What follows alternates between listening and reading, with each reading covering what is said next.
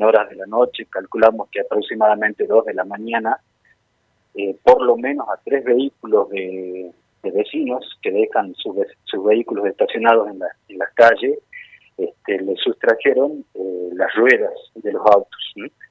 Como decíamos en el mensaje, hay dos vehículos en calle Bustamante y otro sobre calle Villafaña que esta mañana yo justo también salía a trabajar 7 menos 20, 7 menos cuarto y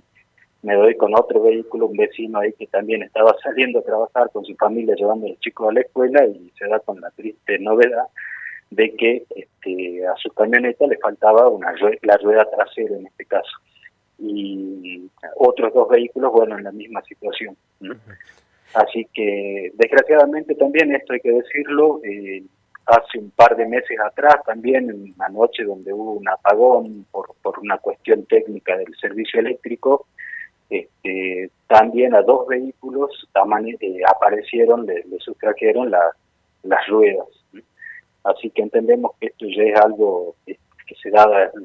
en veces reiteradas, o sea que acá hay algo atrás organizado, digamos, no es algo espontáneo que ocurrió así nomás, nos hace pensar eso, digamos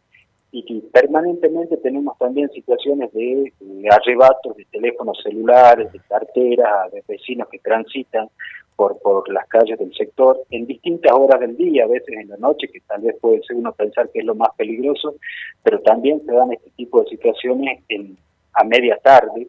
a alumnos que concurren a las escuelas del sector, les sacan los teléfonos y salen corriendo, a vecinas que en una moto se acerca a alguien y les arrebata la cartera, este, y en algunos casos, bueno, hemos tenido personas lastimadas a raíz de, esto, de estos hechos.